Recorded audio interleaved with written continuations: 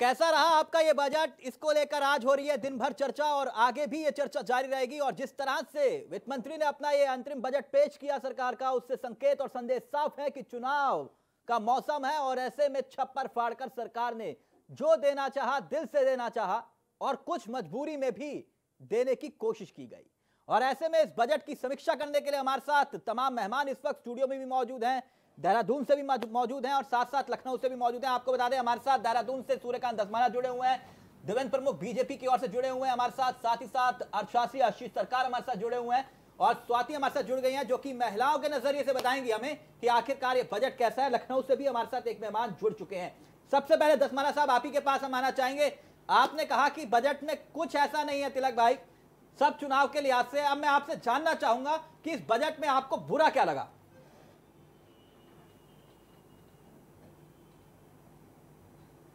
नहीं नहीं, बुरा नहीं। देखिए, पाँच साल तक आपने इस देश की जनता को जो वादे किए थे, आपने जो इतने बड़े बड़े जुमले दिए थे, आपने दो करोड़ बेरोजगार नौजवानों को हर साल रोज़गार देने की बात कही थी। पाँच साल पूरे होने को जा रहे हैं और बेरोजगारी 45 वर्षों में सारे रिकॉर्ड तोड़ चुकी है। पूरे देश के अंदर पाँच सालों तक किसानों का इतना बुरा हाल रहा। पूरे देश के अंदर किसानों की आत्महत्या और उत्तराखंड तो आप जानते हैं, उत्तराखंड को आप कवर करते रहे पहली बार सत्तर वर्षों में एक दर्जन किसानों ने उत्तराखंड में आत्महत्या करी। दो व्यापारियों ने जीएसटी और नोटबंदी से आकर के यहाँ पर एक ने मंत्री के दरबार में आत्महत्या करी और एक ने बाज़ार में आत्महत्या करी। उसके बारे में आप जानते हैं। राज्य के अंदर और पूरे देश के अंदर जो आपने तमाम वादे स्किल इंडिया से लेकर के और स्टार्टअप इंडिया से लेकर के स्टैंड अप इंडिया से लेकर के जो सारी बातें कही थी वो फेक हुई वो फर्जी बातें साबित हुई। आप देश को पाँच साल तक कुछ नहीं दे पाए। और आज आप खड़े होकर के संसद में अपनी हँसी कर रहे हैं ठिठोली कर रहे हैं इतना खिलखिला के हंस रहे हैं कि एक बार मैंने मूर्ख बना दिया। अब दोबारा मूर्ख बनाने की तैयारी है। पाँच साल तक आपने कोई इनकम टैक्स में रिबेट नहीं दिया और आप अचानक ये सोच रहे हो ढाई लाख से पाँच लाख करके देश की जनता वाहवाही आपकी कर देगी। किसानों को आप अगर आप पूरा अंदाज़ा लगाएँगे दो हज़ार रुपया आप पाँच साल में दे रहे हैं। तो इसका मतलब आप दो हज़ार रुपया देकर के किसान की जो इज़्ज़त है और सम्मान है उसको खरीदना चाहते हैं। मैं पूछना चाहता हूँ कि आज जो इतना बड़ा बेरोजगारी का आंकड़ा सामने आया है आपने पाँच साल क्या किया? आपने ये ये अंतरिम बजट में किसानों की हालत ये हालत साढ़े चार साल में हो गई सर। अंतरिम बजट ये आश्चर्य की बात है कि आज किसानों की कर्ज माफ़ी को लेकर हम चर्चा कर रहे हैं लेकिन किसान कितना आत्मनिर्भर हो पाए इसको लेकर चर्चा नहीं हो रही। लेकिन मेरा एक बात बताइए मुझे कि ये छोटे किसानों के बैंक खाते में छह हज़ार रुपए जाएँगे आप इसका विरोध कर रहे हैं मतलब मैं ये मान लू।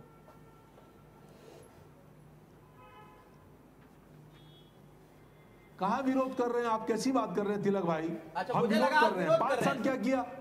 पाँच साल आपने कुछ नहीं किया। आज आप, आप जाते जाते जब आपकी विदाई हो रही जब आपकी विदाई हो रही है तब आप छह हज़ार रुपया दे करके बड़ा एहसान कर रहे हैं किसान के ऊपर। आपके आगे से ऐसा तो नहीं किसानों जो किसानों ने राहुल गांधी ने किया आपके आगे से थाली छीन ली लोगों ने। किसान का बुरा हाल हुआ है। जी? कहीं ऐसा नहीं कि थाली छीन ली सर किसानों का ज़िक्र तो राहुल गांधी भी कर रहे थे। राहुल गांधी प्रधानमंत्री नहीं थे देश के। देश के देश के प्रधानमंत्री राहुल गांधी नहीं थे देश के प्रधानमंत्री नरेंद्र मोदी थे जो किसानों के लिए 10 दिन के अंदर सरकार बनने के दो घंटे के अंदर मध्य प्रदेश राजस्थान और छत्तीसगढ़ में हुआ है। हमने किया है। और आपसे कह रहा हूँ कि आज किसान पूरे देश का पूछ रहा है कि पाँच साल आपने क्या किया?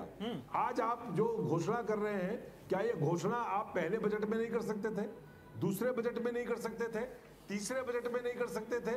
अरे चौथे बजट में कर देते जी मैं दूसरे मेहमान के पास जाऊँ मुझे ये बताइए कि आपने आपने कर्ज माफ़ी का ऐलान किया था वो कौन सा वर्ष था? जब आपने कर्ज माफ़ी का ऐलान किया था किसानों की बहत्तर हज़ार बहत्तर हज़ार करोड़ रुपए का कर्ज माफ़ किया था यूपीए सरकार ने आपको मालूम होगा। सर मुझे मालूम है तभी तो मैं आपसे समय पूछ रहा हूँ टाइमिंग क्या थी सर? माफ़ हुआ था दसमाना जी आप तो आंकड़ों पे बात करते हैं सर। आप आरोप तो लगाते नहीं मैं जानता हूँ। मुझे ये भी बताइए ना सर वो वक्त क्या था? थी।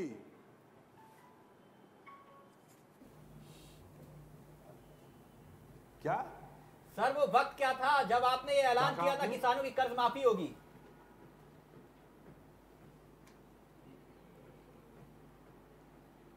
मैं आपको बता रहा हूँ कि यूपीए वन में बहत्तर हज़ार करोड़ रुपए का ऋण माफ़ किया वो था। भी चुनावी वक्त था सर। और बहत्तर हज़ार करोड़ का ऋण जब आ रहा हूँ सर आपके पास। उसके बाद यूपीए टू सरकार रिपीट हुई थी। ओके सर आ रहा हूँ आपके पास। आ रहा हूँ सर आपके पास दसमाना जी एक सेकंड देवेंद्र प्रमुख साहब भी बीजेपी की ओर से हमारे साथ जुड़ गए हैं। मनरेगा याद है ना आपको? सर मुझे सब याद है मोदी जी को भी याद है। सर मैं जनधन पे भी ज़िक्र कर लूँगा मुझे कोई दिक्कत नहीं। मुझे कोई आपत्ति नहीं है मैं उस पर भी ज़िक्र कर लूँगा सर। हर योजना पे ज़िक्र कर लूँगा मुझे कोई जनधन पूरा दिन है। आपको पंद्रह पंद्रह लाख रुपया आना था। सर सर पंद्रह पंद्रह लाख रुपया। सर मुझे सब याद है एक मिनट रुक तो जाइए। आपको याद होगा। सर आराम से सर क्यों परेशान हो रहे हैं सर? एक सेकंड दसमाना जी एक सेकंड। पंद्रह पंद्रह लाख रुपया सुधांशु जी भी हमारे जुड़ गए और शास्त्री लखनऊ से एक सेकंड। देवेंद्र साहब क्या हो रहा हूँ? मैं तो आपकी बात का जवाब दे रहा हूँ। ओके कोई तो बात नहीं दसमाना जी आ रहा हूँ आपके पास सर आ रहा हूँ परेशान तो आप हो रहे हैं परेशान एक सेकंड सर मुझे परेशान होंगे। सर मुझे काहे को परेशानी सर? मुझे तो बजट इसी तरह ही पढ़ना है सर। तिलक सर पहले तो सरकार के वक्त भी पे देते हैं हम। इस समय भी पढ़ रहे हैं आगे भी पढ़ेंगे सर जिसकी सरकार होगी। हमें क्या दिक्कत? मोदी जी है हम एक परेशान सेकंड, नहीं है। एक सेकंड सर एक सेकंड एक सेकंड पहले तो बहुत प्रमुख साहब पहले तो सुन तो बहुत लीजिए सर बहुत तो बहुत बधाई। प्रमुख साहब सुन तो लीजिए सर पहले तो बहुत बहुत बधाई। सुन तो लीजिए सवाल तो सुन लीजिए सर बधाई बाद में दे नहीं, दीजिएगा, सर। बधाई मैं बजट से पहले आपका क्वेश्चन भी सुनूँगा क्योंकि वो ज़रूरी है बधाई देने तो की हमारे मैंने जैसे दसमाना जी से पूछा मैं आपसे हमारे माननीय प्रधानमंत्री जी के दिशा निर्देश में जो आज बजट पेश हुआ है सदन के भीतर पीयूष गोयल जी के माध्यम से वो एक सराहनीय बजट है और सक्षम बजट है अपने आप में पूर्ण बजट है। अच्छा। और पूर्ण बजट में इसलिए कह रहा हूँ कि जो पहले बजट है जिन पे हमारे कांग्रेस के मित्र भी सवाल उठा रहे हैं अगर मैं पीछे चला जाऊँ तो फिर चौसठ साल का रिकॉर्ड निकल का है। हम साढ़े चार साल का जवाब दे ही दे रहे हैं। हमने साढ़े चार साल में जो काम किए हैं जो बजट पेश किए हैं दो हज़ार अठारह उन्नीस का भी किया है सत्रह और अठारह का भी किया है हमने हर बजट में काम किया है बजट के मुताबिक किया है। जो तो जुमले जुमले चिल्लाते हैं मैंने पूछना चाहता हूँ कि चौसठ साल से आप ही लोगों ने तो जुमले चलाए इस देश में। प्रमुख साहब- अगर सच्चाई कहीं से आपने सीखी है तो ये भारतीय जनता पार्टी ने सिखाने प्रमुख का काम साहब किया प्रमुख साहब प्रमुख साहब मैं तो आपसे पूछना चाहता था हाउस द जोश? आप तो पहले ही शुरू हो गए सर।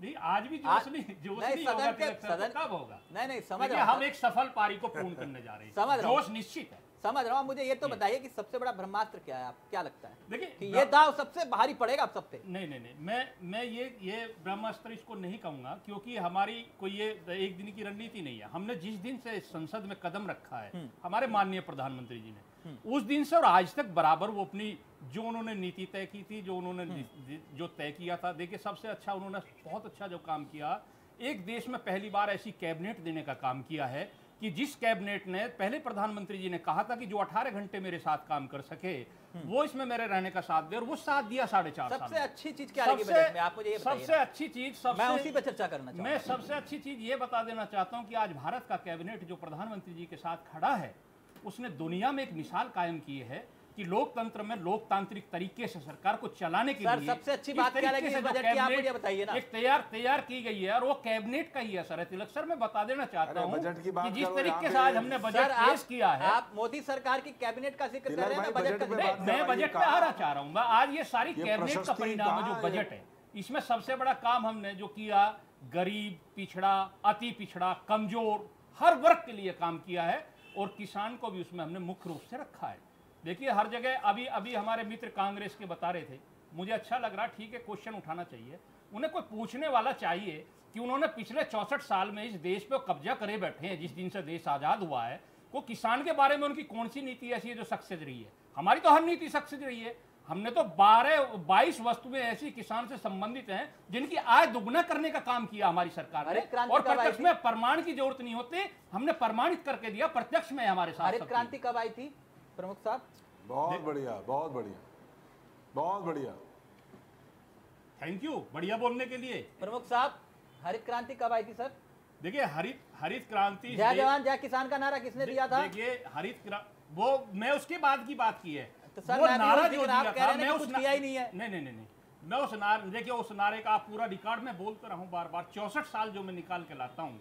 तिलक सर आप उसका सारा सर्वे कराइए ना। उसके बाद क्या हुआ है। उन्होंने जो किया, उसको संभालने का काम क्या किया? आज हमने जो बजट ये अंतरिम अंतरिम चिल्ला रहे ना मैं इनकी आँख खोल देना चाहता हूँ सब साथियों की बता देना चाहता हूँ ये अंतरिम नहीं अगली सरकार को तय करके बजट हमने पेश किया है। तो यानी अगले चुनावी- 2022 हमारा कुछ निश्चित है। ओके एक और- पैनल में एक बात तो साफ़ हो गई है चुनावी बजट है ये कम से कम बीजेपी नहीं, खुद मान नहीं, नहीं, नहीं। अभी आपने कहा सर ये बात सुनो सुनो सुनो सर, अभी तो आपने ये बात कही मैं है। अपनी बात से नहीं हट रहा ना मेरी बात आप पूरी सुनो। आप कह रहे हैं बजट है नहीं मैं बजट अंतरिम बजट मेरा कहने का कुछ लोग हमें विदाई की बात करते हैं बार हाँ। बार की अंतरिम अंतरिम अंतरिम क्यों है? हमने काम इतने किए हैं कि जनता हमें दोबारा दोहराना चाहती है। ओके सुधांशु जी मैं आपके पास आ रहा हूँ। सर इस बजट में आपको क्या लगता है कि सबसे सुनहरा हाँ। कौन सी ऐसी चीज़ है जो आपको सबसे ज़्यादा भा रही है इस बजट के अंदर? देखिए ये एक तरह से बड़ा बैलेंस बजट है। इसमें इन्होंने फार्मर सोशल सेक्टर सर्विस करने वाले लोग टैक्स पेयर एमएसएमई सभी को उन्होंने रखा है बैलेंस करके रखा है। और जिसको कभी कभी कहा जाता है इंडस्ट्री को बहुत नहीं मिला है इसमें कुछ। Okay okay. हाँ तो हाँ इंडस्ट्री को नहीं मिला है क्योंकि मैं उसको भी कुछ हद तक रिप्रेजेंट करता हूँ। क्योंकि उसको उन्होंने यही माना है कि हमने आपको पहले ही दिया हुआ है। और अगर देखा जाए तो बहुत सारी चीज़ें जैसे अब जीएसटी हो गया। जीएसटी के अब धीरे धीरे एवरेज मंथली जो है वो करीब 97,000 करोड़ का पहुँच गया है जो धीरे धीरे लाख करोड़ के करीब हम पहुँच जाएँगे। तो जैसे जैसे टैक्स कलेक्शंस हमारे अच्छे हो रहे हैं और ये जैसे ये फिगर्स हैं कुछ आपकी जो हम लोग के 12 लाख करोड़ रुपए का इन्होंने टैक्स कलेक्शन रखा है डायरेक्ट टैक्स का जो 6.38 लाख करोड़ था 2014 में। जी। तो ऑलमोस्ट डबल की बात है।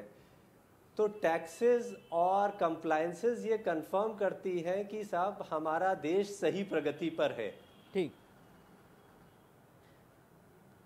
आपसे मैं एक बात जानना So, चाहूँगा और आपने जीएसटी का ज़िक्र किया। दो चीज़ें और भी है कि हम लोग मैं उसी से उसी से आप उसी बात से आपसे समझना हाँ, चाहूँगा हाँ। क्या मैं मान लूँ कि जीएसटी लागू होने के बाद सरकार का जो अनुमान था वो अनुमान के मुताबिक जो है वो रेवेन्यू हासिल हुआ हमें। आप ये कह रहे हैं। हाँ हम उसके करीब है क्योंकि जब हम लाख करोड़ एंड अबव जाएँगे तो हम एक्चुअली अचीव कर पाएँगे उसको। हम्म। हाँ। नहीं नहीं सरकार को उम्मीद थी ना कि लगभग जो जो किसी महीने चौदह लाख करोड़ रुपए हम जुटा लेंगे जीएसटी से जो उम्मीद थी। हाँ। मैं उस आंकड़े का ज़िक्र कर रहा हूँ सर।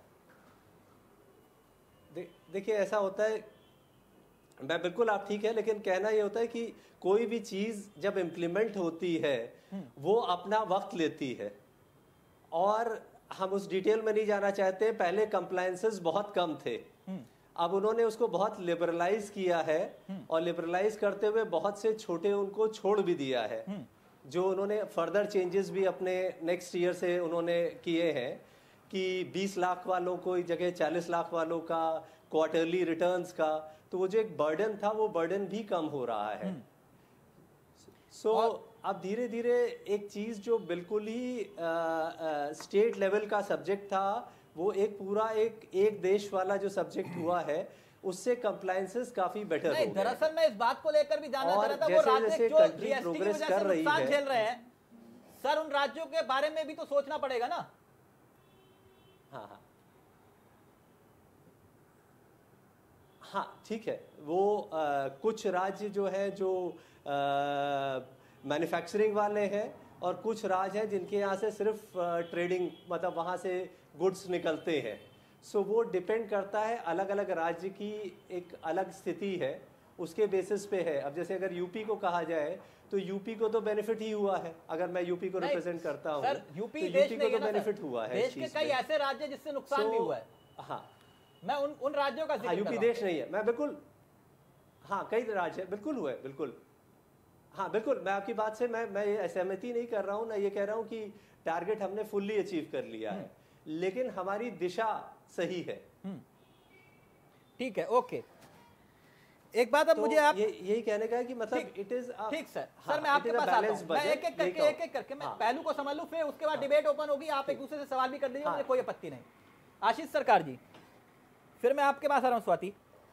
ये कह रहे हैं कि भैया सबसे बड़ा पहलू जो है जो मेरे को अब तक समझ में आया वो स्लैब की बात करें टैक्स की बात करें।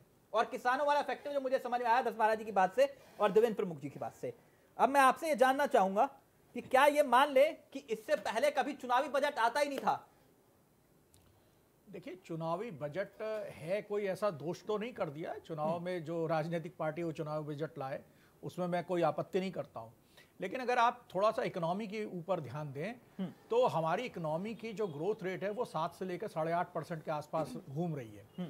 अब इस ग्रोथ रेट को अगर आप बढ़ाना चाहते हैं या इसको सस्टेन करना चाहते हैं तो उसके दो कंपोनेंट है। एक है इंडस्ट्री दूसरा है एग्रीकल्चर इंडस्ट्री में पिछले 30-40 वर्षों में बहुत सारा इन्फ्यूजन हुआ। पैसे का इन्वेस्टमेंट हुआ लोन का इन्फ्यूजन हुआ, और अब ये जो आखिर ये लोग चिल्ला रहे हैं कि साहब जो है लोन ले ले लेके बड़े बड़े दो तीन कारोबारी बाहर भाग गए। तो इंडस्ट्री में जितना पैसा इन्वेस्ट करना था, सरकार ने किया, और उसके प्रतिफल हमें मिल रहा है। लेकिन एग्रीकल्चर ग्रोथ दो ढाई तीन और उसको जाके मुश्किल से साढ़े तीन पहुँच पा रही है। एग्रीकल्चर में इन्वेस्टमेंट नहीं हुआ। और वो चाहे वो एग्रीकल्चर हरित क्रांति एक हो या हरित क्रांति दो हो उसमें जो जो तरीके अपनाए गए उसने भारत की एग्रीकल्चर सेक्टर को बहुत नुकसान पहुँचाया। नहीं नहीं मैं मैं मेरा निवेदन पूरा हो जाएगा। एक फैक्टर क्योंकि ये महत्वपूर्ण सवाल आपने अगर ये बात की है तो भले ही सरकार करिए महँगाई दर देखिए हमने कम कर दी है। तो इससे क्या किसानों की आय पर कुछ फ़र्क पड़ता ही नहीं पड़ता? मैं चार्ज के नज़रिए से समझता रहा हूँ। नहीं नहीं किसानों के भाई आपको अगर आप एग्रीकल्चर सेक्टर लीजिए आप एक किसान की बात ना करें पूरे सेक्टर को अगर आप मज़बूत बनाना चाहते हैं तो आपको कैपिटल इन्फ्यूज करना पड़ेगा। जैसे आपने इलेक्ट्रॉनिक सेक्टर को किया सीमेंट सेक्टर को किया कंस्ट्रक्शन सेक्टर में हमने इन्फ्यूज किया इसी तरह से एग्रीकल्चर सेक्टर में पिछले चौंसठ बजटों में कितना पैसा जाता था? और एलोकेशन होने के बावजूद भी उसमें कोई बहुत ज़्यादा प्रगति नहीं होती थी खर्चे नहीं होते थे। इस बजट की जो महत्वपूर्ण बात है जो बात बजट स्पीच में नहीं आती है वो ये होती है कि पिछले बजटों बजट में जितना पैसा एलोकेट किया वो एलोकेटेड मनी एक्सपेंडिचर में गया या नहीं गया। आपने एक हज़ार करोड़ कह दिया कि साहब हम फलाने सेक्टर में कि कहीं कह दिया दस हज़ार करोड़ करेंगे और वो पैसा खर्च एक पैसा नहीं किया। इंफ्रास्ट्रक्चर के अंदर जो पिछले चार सालों में जितना भी एलोकेशन किया है इस वर्तमान सरकार ने उसमें एक एक पैसा उन्होंने इन्वेस्ट कर दिया।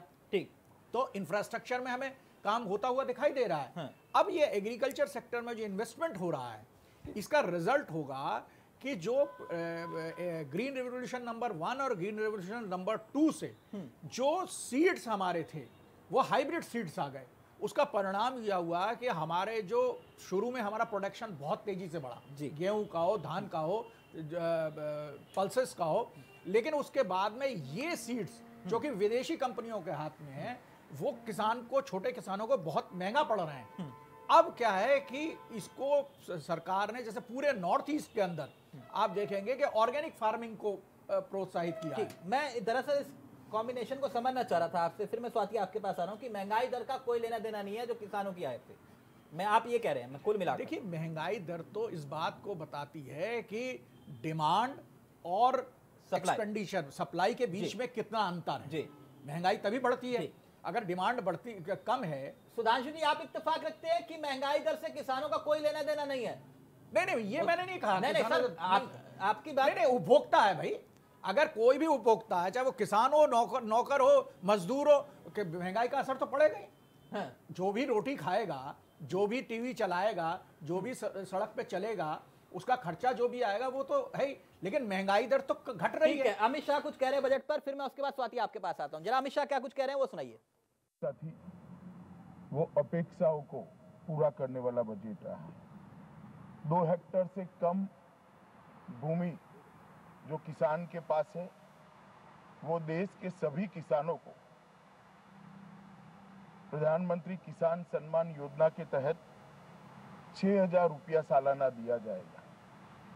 दो दो हज़ार की तीन किस्तों में ये छह हज़ार रुपया हर किसान के पास पहुंचेगा और इसके कारण सरकार करीब करीब पचहत्तर हज़ार करोड़ रुपए का बोझ सहन कर कर किसान भाइयों के मदद के लिए खड़ी रहेगी।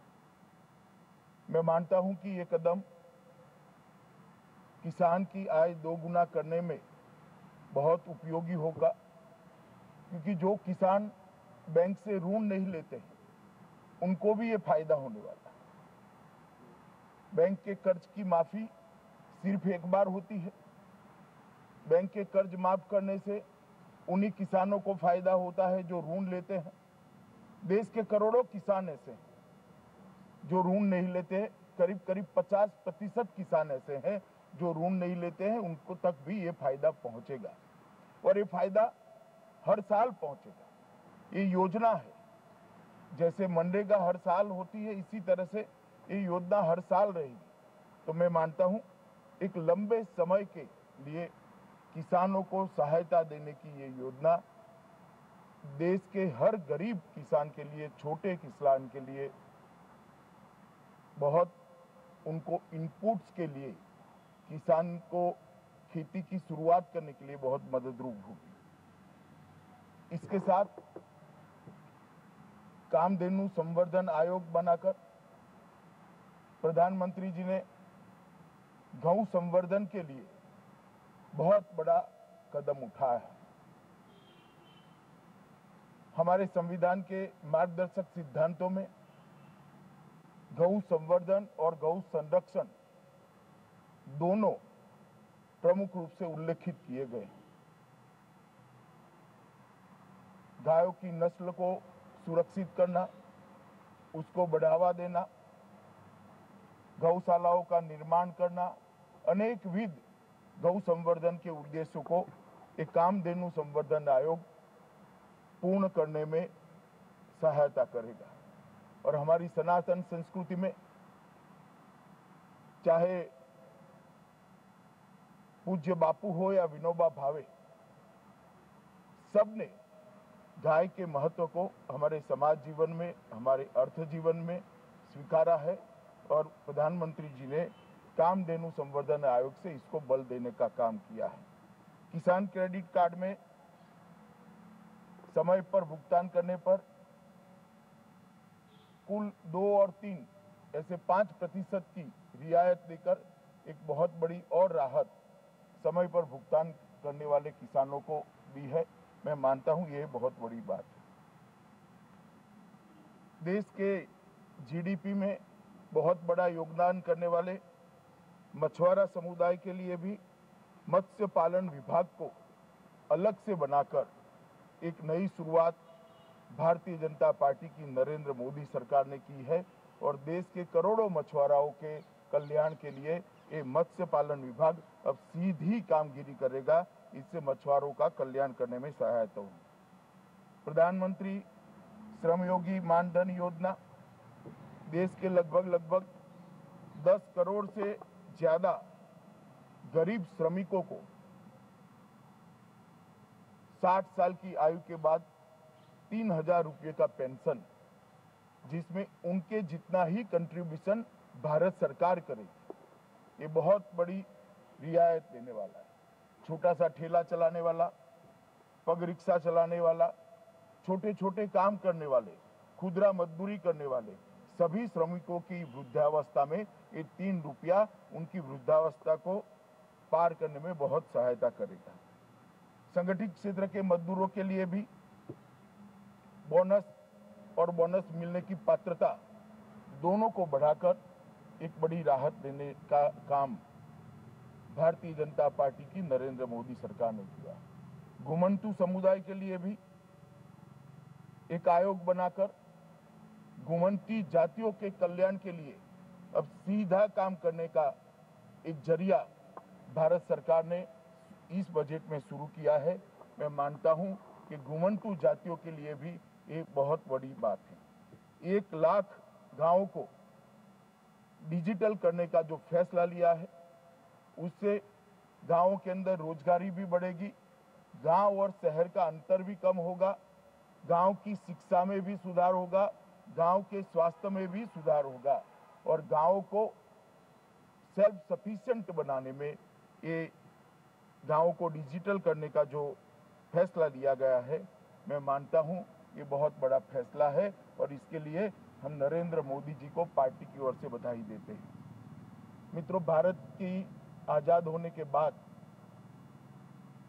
रक्षा क्षेत्र के लिए सबसे बड़ा प्रावधान इस बजट के अंदर किया गया है सबसे बड़ी राशि इस बजट के, के अंदर प्रोवाइड की गई। प्रधानमंत्री जी ने यह कर कर देश की रक्षा के लिए नरेंद्र मोदी सरकार का जो कमिटमेंट है उसको प्रदर्शित करने का काम किया है। मैं मानता हूँ कि पहले वन रैंक वन पेंशन और ये रिकॉर्ड राशि बजट के अंदर जो प्रोवाइड करी है इसके माध्यम से देश की रक्षा को सुनिश्चित करने का काम किया है। नॉर्थ ईस्ट के विकास के लिए पहले दिन से सरकार कटिबद्ध रेल के नक्शे पर पूरे नॉर्थ ईस्ट के राज्यों को लाए हैं। एयरपोर्ट के नक्शे पर, हवाई नागरिक उड्डयन के नक्शे पर नॉर्थ ईस्ट के हर राज्य को लाने के बाद नॉर्थ ईस्ट के विकास के बजट में 21 प्रतिशत की वृद्धि, ये आज तक की सबसे बड़ी बजटरी वृद्धि है। मैं मानता हूँ कि नॉर्थ ईस्ट के विकास के प्रति कमिटमेंट को भारतीय जनता पार्टी की नरेंद्र मोदी सरकार ने एक बार फिर से प्रस्तापित कर कर सत्यापित किया है। उज्ज्वला योजना ने अब तक 6 करोड़ गरीब महिलाओं को, उनकी रसोई को, उनके घर को धुएँ से मुक्त करने में एक बहुत बड़ी राहत दी और ये योजना को आगे बढ़ाकर 8 करोड़ तक का लक्ष्य रखकर देश के करीब करीब 80 प्रतिशत से ज़्यादा घरों के अंदर गैस का चूल्हा पहुँचाने का लक्ष्य नरेंद्र मोदी सरकार ने रखा है। मैं मानता हूँ, देश की गरीब महिलाओं के लिए ये बहुत फ़ायदेमंद होगा। देश के मध्यम वर्ग के लिए ढेर सारी रियायत इस बजट के अंदर प्रधानमंत्री जी लेकर आए सबसे पहले ढाई लाख तक की आयकर की सीमा को सीधा डबल कर कर पाँच लाख तक की सभी आय को आयकर से मुक्त करने का काम कर कर देश के मध्यम वर्ग को बहुत बड़ी राहत देने का काम किया है।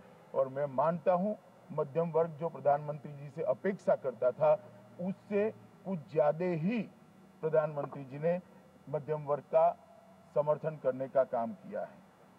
और जो निवेश कर, कर पाएँगे निवेश करना चाहते हैं ऐसे सभी करदाताओं को अब साढ़े छह लाख रुपए तक कोई टैक्स देने की ज़रूरत नहीं। तो एक प्रकार से निवेश जो कर पाएँगे, उनके लिए आयकर की मर्यादा साढ़े छह लाख तक की हुई है और जो निवेश नहीं कर पाएँगे, उनके लिए पाँच लाख तक की कर दी गई है। और कई सारी रियायतें इसके अंदर दी है। आयकर की मर्यादा के अंदर पहले एक घर का रेंट उनको बेनिफिट कराता था। अब दो घरों को कर कर मध्यम वर्ग के कई लोग जो अलग अलग जगह पे नौकरी करते हैं, अपने बच्चों को पढ़ाते हैं, इनके लिए बहुत बड़ी राहत का काम किया है। सीमा को भी चालीस हज़ार बढ़ाकर पचास हज़ार तक ले जाने का काम किया है। ढेर सारी रियायतें मध्यम वर्ग को लिए भी ये सरकार लेकर आई है। और मुझे आनंद है, इतना सारा करने के बाद भी फ़िज़िकल डेफिसिट को नियंत्रित करने में सरकार सफल हुई। सिर्फ़ 3.4 प्रतिशत का बजट घाटे का लक्ष्य रखकर इस सरकार ने ये सारी रियायतें दी है। इसका मतलब राज्य की देश की इनकम बढ़ाने में। जी। सुनील जी ये बजट क्योंकि चुनाव से पहला शाह कर रहे थे और अमित शाह ने जिस तरह से इस बजट का बखान किया उससे साफ़ है कि सरकार चुनावी मोड में आप जो है बजट के ज़रिए संकेत और संदेश देने की कोशिश करेगी कि सबका साथ, सबका विकास का नारा सिर्फ़ नारा नहीं, बल्कि विकास इस बजट के ज़रिए झलक का भी है, जिसका ज़िक्र अमित शाह अब कर रहे हैं।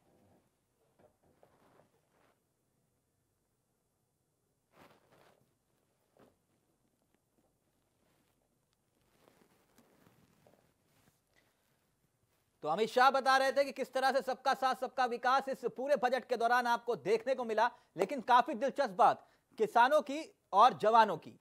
तो यानी जो जय जवान, जय किसान का नारा, जिसका ज़िक्र सदन के भीतर भी हुआ, जब सीधे तौर पर किसानों की आय का ज़िक्र किया गया, सीधा डायरेक्ट खातों में पैसा डालने की बात की गई, तब सीधे तौर पर जय किसान का नारा दिया गया। देवेंद्र प्रमुख साहब, यही होगा? जय जवान, जय किसान, यही नारा होगा आप लोगों का? बिल्कुल जय जवान जय किसान की बात हम करते आ रहे हैं तिलक जी। और देखिए अच्छी बात है। देखिए निकल के जब बात आती है बैठते हैं बात आती है सच्चाई कितनी है। अभी हमारे दो दो अर्थशास्त्री हैं हमारे बीच में बहुत ही सम्मानित और बड़े अच्छे तरीके से। एक सच्चा पक्ष जो हमारी जनता के सामने वो रखने का प्रयास कर रहे हैं वो है भी बात वो दमदार है। जो काम भारतीय जनता पार्टी ने किया बड़ी बात वो है वो जमी पे हुआ है।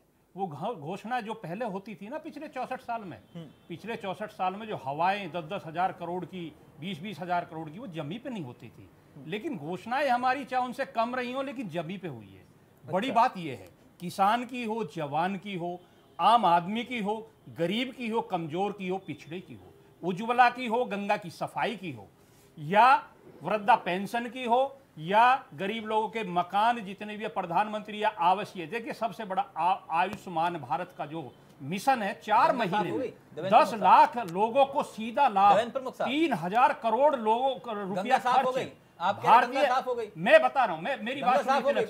भारतीय जनता पार्टी ने बड़ा काम किया है सीधा सीधा गरीब को फ़ायदा। और गंगा पे मैं बिल्कुल कहना चाहता हूँ देखिए आप समय पूरा होने दीजिए।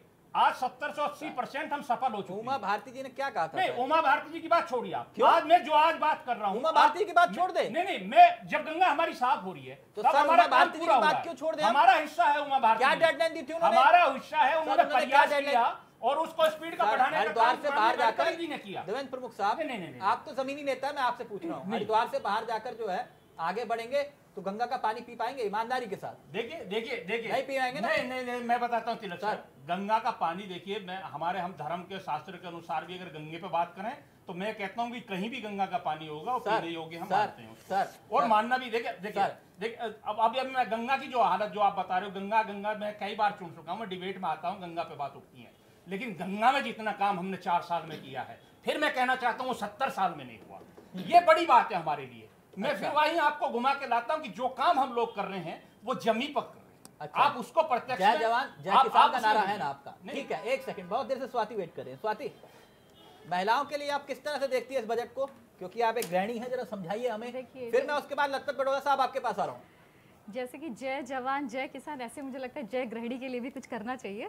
लेकिन काफ़ी कुछ किया है इस सरकार ने। मैं काफ़ी मतलब खुश हूँ इस चीज़ को लेके। जैसा कि अभी जो हमारी बेसिक जो सबसे बड़ी बात मैं कहना चाहूँगा जो हमारी बेसिक नीड है जो हमारी डेली की रिक्वायरमेंट है जैसे दाल चावल जो हमारा डेली का डेली रूटीन की चीज़ें मुझे लगता है उस पर कमांड करने का बहुत ही अ, उसको करने से मुझे लगता है बहुत ज़्यादा फ़ायदा होने वाला है बीजेपी को इस बजट में जो कि इन्होंने काफ़ी हद तक बीजेपी को कितना होगा कितना नहीं ये तो आप लोग तय करेंगे क्योंकि घर आप चलाते हैं और गृहस्थी को लेकर मैं इस बात पूछना चाहूँगा। हाँ।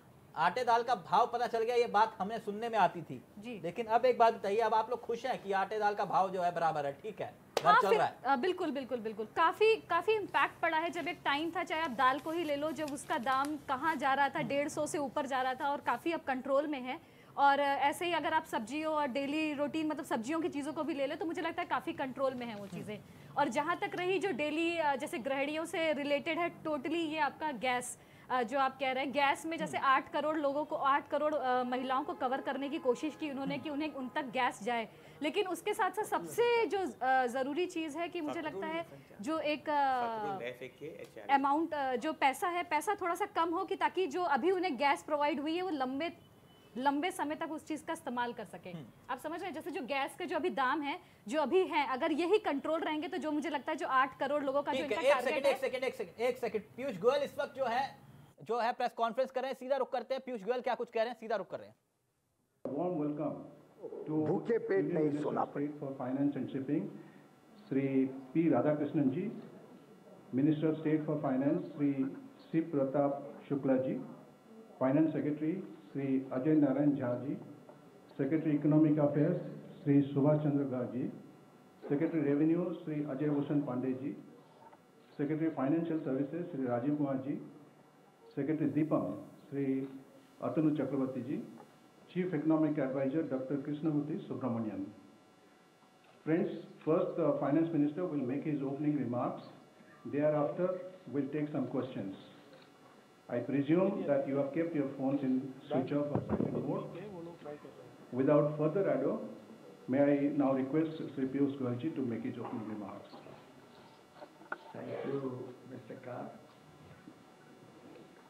मित्रों, आज माननीय प्रधानमंत्री श्री नरेंद्र मोदी जी के नेतृत्व में भारत सरकार का इस एनडीए की टेन्योर का, पहली टेन्योर का आखिरी बजट पेश हुआ। एक प्रकार से इंटरिम बजट होने के कारण बहुत सारी और चीज़ें जो हम कर सकते थे, उसमें कर नहीं पाए। लेकिन मैं समझता हूँ कि समुचित विकास देश के हर नागरिक तक पहुँचे, समाज के हर वर्ग को विकास से जोड़ना और लाभ पहुंचाना, इसका काम इस बजट ने देश भर में किया है और देश भर में उत्साह का वातावरण निर्मित किया है। माननीय प्रधानमंत्री जी का स्पष्ट सोच हम सबके समक्ष रही कि जो सबसे नीची पंक्ति पे खड़े हैं लोग, उनकी सबसे अधिक चिंता करेगी ये सरकार। जो मध्यम वर्गीय परिवार हैं उनकी चिंता करेगी ये सरकार। और लगभग जो जो विषय आज बजट में उजागर करे गए, वो एक प्रकार से समाज के हर वर्ग को छूने वाले विषय को हमने देश के समक्ष रखा। ये इंटरिम बजट की सबसे बड़ी विशेषता रही कि जो दो नई स्कीम इस सरकार ने तय की है एक किसानों के लिए और एक अनऑर्गेनाइज सेक्टर जो लोग काम करते हैं लेबर अनऑर्गेनाइज सेक्टर का जो कर्मचारी है, जो कामगार है, उनके लिए। देश के इतिहास में किसानों के लिए कभी इतनी बड़ी पहल आज के पहले नहीं हुई है। अगर हम देखें तो लगभग 12 साढ़े बारह करोड़ छोटे सीमंत किसानों तक लाभ पहुंचाना ये साधारण बात नहीं है। शायद कई बार बड़े बड़े खानदान के लोग एयर कंडीशन कमरों में बैठे, समझ नहीं पाते हैं कि जिसके पास आधा एकड़ है, एक एकड़ है, हज़ार मीटर ज़मीन है, उनकी समस्याओं का पूरा आकलन एयर कंडीशन कमरों में बैठे हुए ध्यान नहीं आता प्रधानमंत्री श्री नरेंद्र मोदी जी ने वास्तव में ज़मीन पे देखा है किस प्रकार की कठिनाइयाँ, किस प्रकार की परेशानियाँ छोटे और सीमंत किसानों की रहती है। और उसको मद्देनजर रखते हुए छह हज़ार रुपये प्रति वर्ष हर उस किसान को मिलना, हर उस किसान परिवार को मिलना जिनकी लैंड होल्डिंग जिनकी ज़मीन दो हेक्टेयर से कम है, ये अपने आप में एक बहुत बड़ा ऐतिहासिक फैसला है।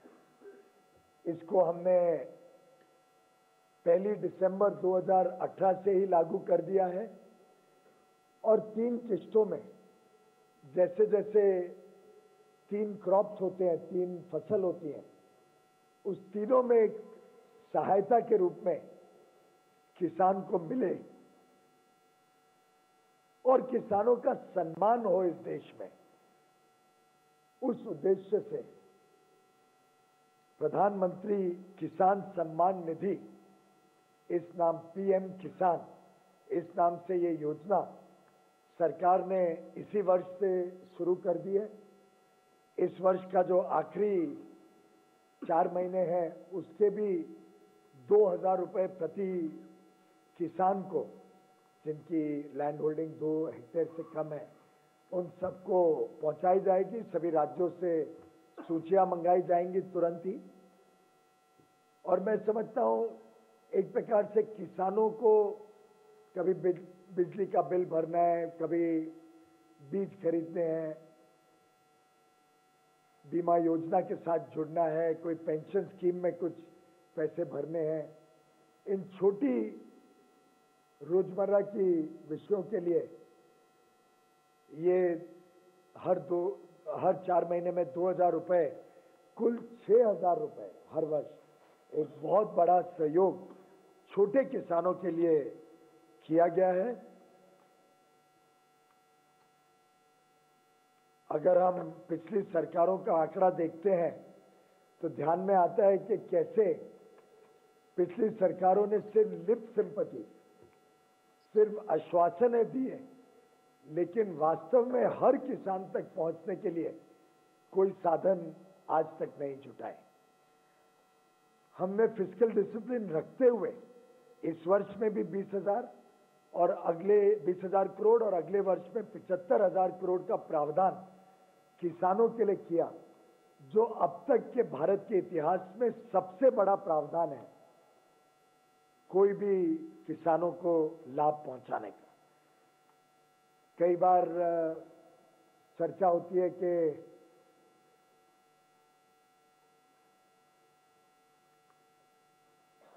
अनऑर्गेनाइज सेक्टर जो लेबर होता है, उसको वृद्ध अवस्था में, जब वो 60 वर्ष पार कर जाता है, तब काम मिलने में, करने में भी तकलीफ़ होती है सोशल सिक्योरिटी का साधन ना होने के कारण, व्यवस्थाएँ ना होने के कारण वृद्ध अवस्था में कुछ ना कुछ तकलीफ़ का सामना उनको सहन करना पड़ता था। उन सभी ऐसे और एक प्रकार से अनुमानित 42 करोड़ ऐसे अनऑर्गेनाइज सेक्टर में काम करने वाले हमारे मजदूर भाई बहनों के लिए ये एक बहुत बड़ा योजना केंद्र सरकार ने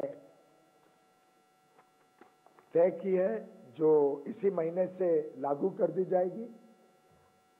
जो भी ऐसे अनऑर्गेनाइज सेक्टर में 18 वर्ष से 40 वर्ष की आयु के लोग काम कर रहे हैं, कोई ठेले वाला हो, कोई छोटा दुकान में नौकरी करता हो, खुदरा व्यापार के साथ जुड़ा हो किसी प्रकार से कोई कारपेंटर हो, कोई प्लम्बर हो, कोई मोची हो, हमने इसमें घरेलू कामगार को भी जोड़ा है। जो घरेलू कामगार सभी के सहायता के लिए घरों में काम करते हैं, घरेलू कामगार को भी इस स्कीम का लाभ मिला, मिले, ये सुनिश्चित करते हुए, ऐसे करोड़ों की संख्या में लोग एक छोटी रकम हर महीने अपनी पेंशन स्कीम में डालें अनुमानित जो 18 वर्ष का कोई व्यक्ति इस स्कीम में जुड़ता है तो मात्र पचपन रुपए प्रति महीना उनको स्कीम में डालने पड़ेंगे। कोई उनतीस साल का व्यक्ति 10 साल बाद जुड़ता है, उनको भी शायद सौ रुपए ही डालने पड़ेंगे प्रतिमा। और केंद्र सरकार उतनी ही राशि जोड़, जोड़ेगी उस पेंशन अकाउंट में। किसी के सौ रुपए जमा हुए तो हम भी सौ रुपए उसमें जोड़ेंगे। और ऐसे करके 60 वर्ष की आयु के बाद एक बार वो हर महीने इसको पेंशन स्कीम में अपनी कंट्रीब्यूशन दे और केंद्र सरकार दे तो तीन हज़ार रुपए हर महीने एश्योर्ड पेंशन अनऑर्गेनाइज सेक्टर के हमारे भाइयों, बहनों को मिलेगी। ये अपने आप में एक नई कल्पना इस देश में पेश की है माननीय प्रधानमंत्री नरेंद्र मोदी जी के नेतृत्व में। और मैं समझता हूँ इस कल्पना से करोड़ों ऐसे परिवार और करोड़ों ऐसे लोग जो वृद्ध अवस्था में तकलीफ़ में आते हैं, उन सबको बड़ी राहत मिलेगी।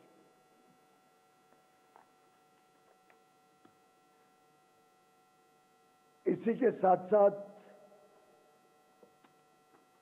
किसानों में एक बड़ी समस्या कभी आपदा बड़ी सिवियर कैलामिटी आती है, बड़ी आपदा आती है, जिसमें एनडीआरएफ से भी मदद दी जाती है केंद्र सरकार द्वारा। जब ऐसी आपत्ता आती है अभी अभी हमने उदाहरण के लिए महाराष्ट्र में देखा कि ड्राउट कई डिस्ट्रिक्ट्स में आया, कई ज़िले, कई पंचायतों में ड्राउट की स्थिति आई। एनडीआरएफ से तो सहायता मिलती है लेकिन जो किसान का कर्ज होता है, जो लोन होता है, उस लोन को रीशेड्यूल किया जाता है। और एक साल के लिए उस लोन पे भी ब्याज की छूट दो प्रतिशत दी जाती है। और अगर समय पे पे कर दे तो तीन प्रतिशत अधिक छूट एक साल के लिए मिलती है ऐसे आपत्ताग्रस्त किसानों को। हमें ध्यान में है कि जब ऐसी कोई आपदा आती है, वैसे तो प्रधानमंत्री फ़सल बीमा योजना के तहत पूरा भुगतान शत प्रतिशत भुगतान किसान को मिल जाता है।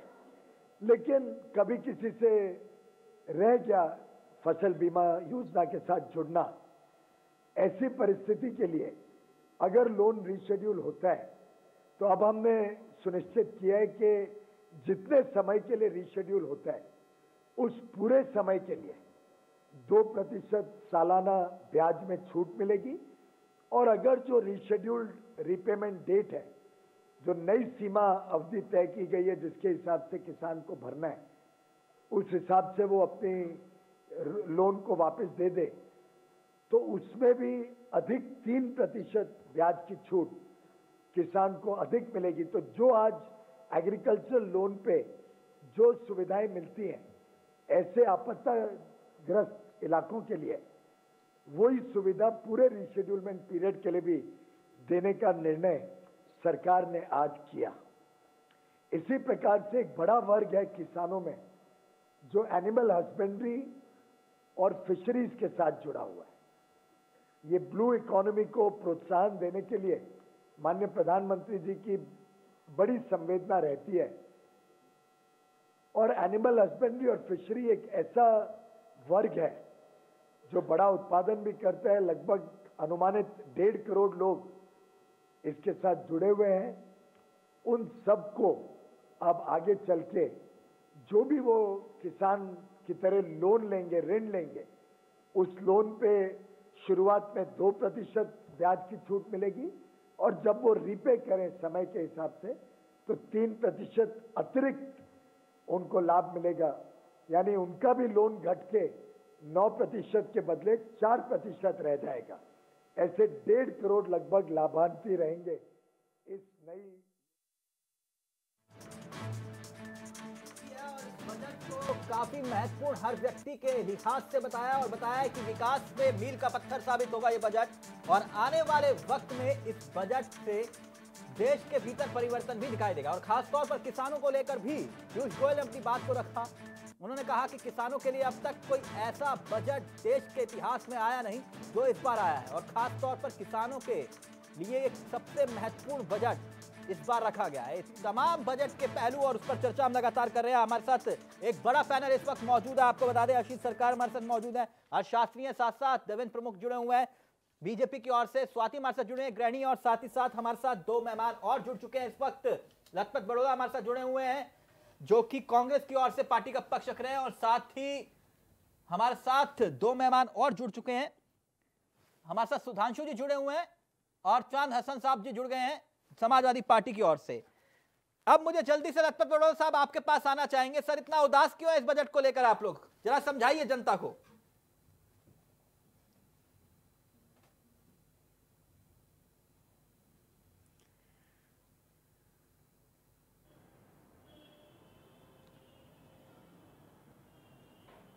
लखपत बड़ोड़ा साहब मेरी आवाज़ पहुँच रही है आप तक?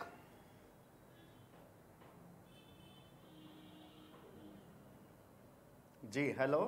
सर इतना नाराज़ क्यों है आप बजट को लेकर? कांग्रेस इतना नाराज़ क्यों है?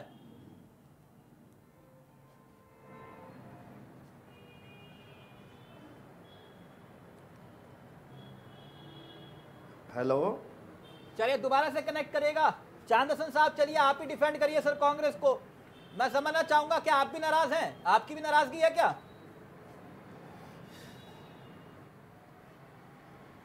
हाँ चावला जी मैं सुबह आपकी चैनल पे डिबेट पे था।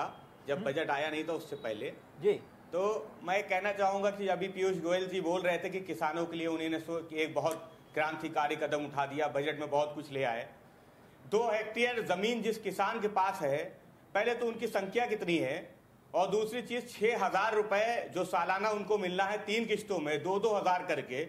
अगर किसी किसान का परिवार चार चार सदस्यों का परिवार है तो प्रतिदिन उसको कितने रुपए मिलेंगे? साढ़े चार रुपए पाँच रुपए साढ़े पाँच रुपए। इससे ज़्यादा प्रतिदिन एक परिवार को नहीं मिलने जा रहे। तो इसमें कौन सा बहुत बड़ा काम कर दिया है सरकार ने? इतनी बड़ी कौन सी पीठ थपथपाने वाला काम कर दिया है? और आपके चैनल पे सुबह भी मैं बोल रहा था, जो पाँच लाख रुपए इन्होंने टैक्स की बात की है, आपके ही चैनल पे बहुत से व्यूवर्स, जो दर्शक थे उन्होंने कहा कि हम पाँच लाख टैक्स को टैक्स को तक अपना पैसा छुपाने के लिए, चुराने के लिए हम बहुत से जतन करते हैं। हम किराए की रसीदें लगा देते हैं या दूसरी चीज़ कर देते हैं, तब जाके हम उसको अपने, हम जो, हमारे पास पचास हज़ार अगर मैं महीना कमाता हूँ तो मेरे पास बचता ही नहीं कि हम सरकार को कुछ टैक्स दे पाए। पब्लिक तो चोर है क्या? कहना चाहता हूँ कि जो सरकार का तो ये पहले से वादा था। साहब क्या बात बोल रहे हैं पब्लिक चोर है क्या? जी। पब्लिक चोर है क्या? क्या बोल रहे हैं सर आप? नहीं नहीं चावला जी चावला जी ये मैं नहीं बोल रहा हूँ। ये मैं ये मैं नहीं बोल रहा हूँ चावला जी। ये आपके मैंने कहा कि मैं सुबह आपके चैनल पे था। अच्छा, सर, आप सुबह आपके चैनल पे जो दर्शक बोल रहे थे अच्छा। कि मैं अपना हम पचास कुल मिला के नहीं, मुझे ये समझाइए। देखिए यानी कि चावला जी किसानों को छह हज़ार रुपए दे रहे हैं। आप इसका विरोध कर। रहे हैं कैसे जमा? जी। नहीं विरोध नहीं। मैं ये कह रहा हूँ कि किसानों को ये लोभ लुभावन बजट है। इससे कोई किसी को बहुत ज़्यादा लाभ होने वाला नहीं है। अच्छा लाभ होने वाला नहीं है। देवेंद्र प्रभु जवाब दीजिए फिर लखपत बड़ौल आपके पास आ रहा हूँ। फिर वाराणसी से भी हमारे पास जो है कुछ बयान आए चाँद हसन साहब ने बहुत अच्छी बात कही है कि जिस तरीके से जिस बात चलाई है इन्होंने कि इससे लाभ क्या होगा किसानों को? कितना बड़ा होगा? मैं एक तो पूछना चाहता हूँ इनसे, ये कैसा लाभ चाहते हैं लोग? कितना ये अच्छा कर चके हैं सबसे पहले जिसका जवाब मांग रहे हैं? इनको मैं पूछना चाहता हूँ कि इन्हें अपने गिरबा में झांकना चाहिए कि ये कितने बड़े दानवीर हैं। अभी कल परसों इनके ऊपर मुकदमा रजिस्टर्ड हुआ। इन्होंने यूपी में जो घपला किया, पेंशन योजना, जो पर मंथ पाँच सौ रुपए उस गरीबी के थे जो आज हम जिसको हम देने का काम कर रहे हैं आप लोग डकार गए उनको चिल्लाते फिर रहे मुकदमा नहीं किया। मुद्दे पे अरे आपकी चोरी बंद करने का काम तो किया हम पहले हमने चाँद साहब हैं उसके बाद हमने ईमानदारी बजट पे चर्चा है। ना सर बजट पे आप उठा के आप उठा के देखिए ना सर, बजट पे। बजट में हम आपको बताना चाहते हैं कि बजट में जो हमने दिया है आप पिछले चौसठ साल में इसका आप- कहीं से कंपेयर करके हमको बताएँ पार्टी कि हमने आपसे पहले यहाँ से किया। है। नहीं आप अपनी चोरी और डकैती बंद कीजिए। तुमसे बड़े चोर नहीं है। एक सेकंड एक चोर आप लोग हैं आपका साबित हुआ है। आप लोग मुकदमों का सामना कर रहे हैं। देखिए आप ईडी के सामने जाइए सीबीआई के सामने जाइए। पता लग रहा है आपको पर जनता है आप बजट पे बात करें तो अच्छा रहेगा। बजट मैं- मुद्दा कौन चोर कौन जगह मैं बजट पे आपको स्ट्रिक्ट जवाब देना चाहता हूँ लेकिन आपका स्ट्रिक्ट क्वेश्चन होना चाहिए चाँद साहब। आप इस पे स्टडी करके बैठे तो अच्छा लगेगा। आज जो बजट है इसका विरोधी भी नहीं, विरोधी भी इसका सम्मान कर रहा है। आप- और ये चुनावी और उसकी बात बाद की बात पैसे पहले आप जो आप कहे, नैतिकता के तौर पर शुभकामनाएँ देनी चाहिए थी। आज के बजट में आप- माननीय प्रधानमंत्री जी और हमारी कि कैबिनेट को सबसे पहला ज़िम्मेदारी बनती है आप लोगों आपको की लेकिन आप सहन नहीं कर पाते। जब आपने जाके मायावती जी की गोद में बैठे थे हमने आपको बधाई दी थी क्योंकि आपका सर्वनाश का टाइम था वो। इसलिए दी थी। प्रमुख साहब। आज अच्छे काम के लिए आप हम प्रमुख चर्चा साहब, कर रहे हैं आपसे प्रमुख बार साहब, बार प्रमुख साहब। आप उसको दिशा बदल रहे हैं। प्रमुख साहब वो विरोधी है अब आपके लिए वो थोड़ा ना कहेंगे कि बहुत बढ़िया ताली बजा रहे हैं। हमें- रहे एक सेकंड, की बात हमें के लिए हम तो उम्मीद कर रहे हैं कि अच्छे डिबेट एक हो, अच्छा हमारा एक सेकंड सर जान नसीर साहब एक सेकंड एक सेकंड ओके ओके हसन साहब। कि कैसे आपने कांटे से कांटे को निकाला जान हसन साहब हो गया सर बजट पे डिबेट अच्छा करते ना रहेगा। करते हैं ना सर एक सेकंड एक सेकंड लखपत बड़ोल साहब मेरी आवाज़ पहुँच रही है अब आप तक?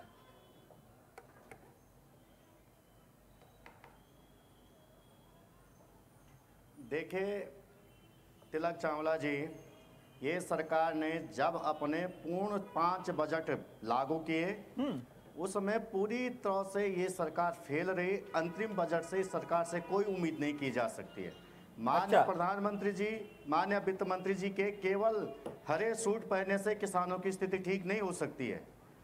ये सरकार 2014 में कह के आई थी कि हम किसानों की एमएसपी का दुगना देने का काम करेंगे। जिसके लिए सरकार ने कोई काम नहीं किया जब सरकार के 60 दिन मुश्किल से बचे हुए हैं तो इससे क्या उम्मीद की जा सकती है? आप एक चीज़ देखिए आयुष्मान योजना की ये बातें कह रहे हैं और पिछले साल बजट में इसका प्रावधान किया गया। और उसमें भी 800 करोड़ रुपया काटने का इन्होंने काम किया है। और चुनाव नज़दीक आने के बाद चार जिस तरह से कार्ड बना रहे। अच्छी बात है। देश की जनता को अच्छी योजना मिले उसका कांग्रेस स्वागत करती है। में फ़ायदा पहुँचाने का काम किया हमारी एक- एक- तीन हज़ार करोड़ रुपया एक जो आप सेकंड एक एक सेकंड एक सेकंड प्रमुख साहब प्रमुख साहब एक सेकंड वो एक काम हम मंच सेकंड एक एक- बड़ी बात ये है। एक सेकंड सर प्लीज़ एक सेकंड। बोलो साहब बहुत देर से अपनी बात रखिए। चावला जी। ये चिल्लाते रहेंगे। इस तरह से सुन, पहले अपनी बात मैं कह सकता हूँ, ये सरकार कहती सबका साथ, सबका विकास। इसको वोट तो सबका चाहिए लेकिन विकास ये केवल 10-12 व्यापारियों का करना चाहते हैं 10-12 उद्योगपतियों का करना चाहते हैं। मैं एक चीज़ पूछना चाहता, इन्होंने कहा कि हमने पहली बार 22 फ़सलों का, एमएसपी तय किया है 50 परसेंट बढ़ा के तय किया है। क्या अब अंतरिम बजट में ये तय करेंगे पाँच साल तक? जब इन्होंने पूर्ण बजट दिए तब क्यों नहीं किए गए? कितने किसानों की आय बढ़ी है? लगातार सरकारें आंकड़े कह रहे हैं किसान अगर हम आपसे प्रतिदिन 64 साल का जवाब मांगे, आपका अधिकार नहीं है। किसान की उनको 64 साल का हिसाब देना आपको आपको लेकर क्यों आई पब्लिक आपको पब्लिक क्यों लेकर आई आपने कहा सबका साथ सबका विकास आपको जनता ने वोट क्यों दिया? आज भी है। दिया ना सर? एक सेकंड फिर बार बार उनके कंधों पर जो पीछे छुपकर जो है आप ये कहेंगे चौसठ साल का हिसाब दीजिए चौसठ साल का हिसाब दीजिए। ऐसे थोड़ी ना होता है। मांगने एक- का अधिकार एक- नहीं है उनको। इतना क्यों नहीं है? अच्छी काम नहीं कर रखे जो क्यों सलाह नहीं दे है पब्लिक है। सर पब्लिक सब जानती है करना चाहिए जनता के डिसीज़न का इंतज़ार करना आपने कितना किया वो बताइए ना सर। उन्होंने नहीं किया तभी तो आपको लेकर आए। एक सेकंड सुनने की क्षमता नहीं है। इनसे क्या ये पाँच मिनट सुनने की क्षमता रखिए। पहले देखे चावला जी जिस तरह से ये बीच में डिबेट को डिस्टर्ब करने का काम करें नहीं कर रहे सर डिबेट पता चलती इन्होंने पाँच अपना साल में क्या काम किया? अब राम सरकार बताती अमित शाह जी ने पिछली बार पिछली बार मध्य सुन लीजिए मा सर, दो मिनट मिलते हैं अमित point बोलने के लिए। आप उसमें इतना लंबे हैं, एक- माननीय प्रधानमंत्री जी एक सौ सैंतीस योजनाओं को लागू किया है एक सौ सैंतीस योजनाओं में मैं मैं उसी एक सौ सैंतीस योजनाएँ लागू की चाहे स्किल इंडिया हो स्टार्टअप इंडिया हो चाहे स्मार्ट सिटी हो चाहे आदर्श ग्राम रोज़गार हो चाहे स्वरोजगार हो ये बताएँ कि इन्होंने एक सौ सैंतीस योजनाओं में किस योजना को सफलतापूर्ण निभाया है। आज भी सारी अस्सी परसेंट योजनाएँ इनकी या तो 10 परसेंट काम करने के बाद बंद हो गई या पूरी तरह से फ्लॉप हो चुकी है। आज ये नया जुमला लेके आ रही है। सरकार निश्चित रूप से बरगलाने का काम कर रही है। ये सरकार किसान विरोधी है उन नौजवानों के रोज़गार विरोधी है जिनको इन्होंने कहा था ढाई करोड़ रोज़गार देने का काम करेंगे। ये हो हो। हो हो जिनके लिए एक सेकंड सर एक सेकंड सर मुझे मालूम है ना ये थोड़ी ना कि वो अगर बीजेपी से सवाल पूछेंगे तो उनका ऑडियो गिरा दूँ। ऐसा नहीं होता ना। एक सेकंड अब मुझे ये साबित करिए सर जनता को ये साबित करिए ये बजट किसान विरोधी है। आपने कहा ये किसान विरोधी है सरकार अब इस बजट के ज़रिए साबित करिए। कि ये किसान विरोधी कैसे हैं? जी। साबित करिए सर। जी जी जी जी। जी। मैं आ, इसी बात को कहना चाह रहा हूँ। आप आज देखोगे इस देश के अंदर सबसे ज़्यादा आत्महत्या यदि किसी सरकार में हुए तो मोदी सरकार में किए। सबसे ज़्यादा यदि आमदनी गिरी है तो किसानों की गिरी है। उसके इसको अलावा आज के जिस तरह से आपको आज के टाइम नहीं अमर मिलेगा, उजाला के डिबेट में फ्रंट इतना पेज समय पे नहीं लगी है। कि आप ये कहाँ से साबित करने की बात कर रहे हैं? साल में जनता सबसे ज़्यादा बेरोजगारी छह स्वीकार कर परसेंट लेंगे से ज़्यादा बढ़ी है। ये ये ये ये निश्चित रूप। कौन सा ऑन रिकॉर्ड है आपके पास इस बात का? बेरोजगारी आज हिंदुस्तान आप कहाँ से साबित करेंगे इसको? और ये सरकारें आंकड़े कह रहे हैं। पिछले एक साल में सैंतीस लाख रोज़गार खत्म करने का काम करने का काम किया है। सर ये कौन सा बेरोजगारी का आंकड़ा ले? सरकार के पास तो है नहीं आंकड़ा। आप कहाँ से ले बेरोजगारी का आंकड़ा? देने से अब डिबेट पे झूठ बोलने के लिए तो मैं भी कुछ बोलूँ जाऊँ चिल्लाने के लिए। अधिकारी इस्तीफा दे रहे हैं। आप पता नहीं कौन सा आंकड़ा ले आए वो कह रहे हैं कि भैया बेरोजगारी का आंकड़ा जारी करिए वो इस्तीफा दे रहे हैं। सरकार के पास आंकड़ा है नहीं जारी करने के लिए। आप कौन सा आंकड़ा ले आए सर?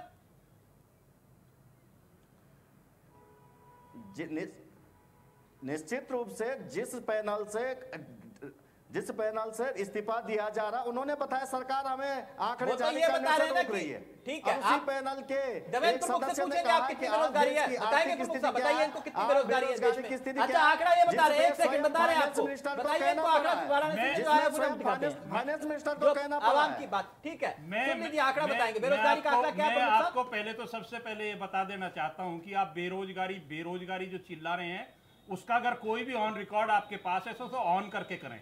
ऑन रिकॉर्ड कहाँ से होगा? जब जारी करेंगे तभी तो होगा सर ऑन रिकॉर्ड आप बता दीजिए ऑन रिकॉर्ड अगर अगर अगर इस पे झूठी बोलना है अगर इस पे कुछ ही बात बननी है तो अपने तरीके से कूद जाओ। हमने जितना सुधार बेरोजगारी में किया है सर, मैं वो किसान से लेकर जवान से तो, लेकर आंकड़ा आम जो नागरिक है उन पर लेकर हमारा रिकॉर्ड देखिए मैं वाले मैं मैं दे रहे हैं? मैं मैं बता कार्यकारिणी मैं- अध्यक्ष ने इस्तीफा दे दिया। नहीं मैं बता दे बेरोजगारी मैं, मैं। बता देना चाहता हूँ। कि जो चीज़ जमी पे है जो जनता के बीच में है आपके सामने आज जो बजट हम पेश कर रहे हैं ना हम्म। जिस तरीके से बार बार चिल्ला रहे हैं इससे पहले हमारे तीनों बजट आप उठा के देखो इससे पहले उठा के देखो हम्म।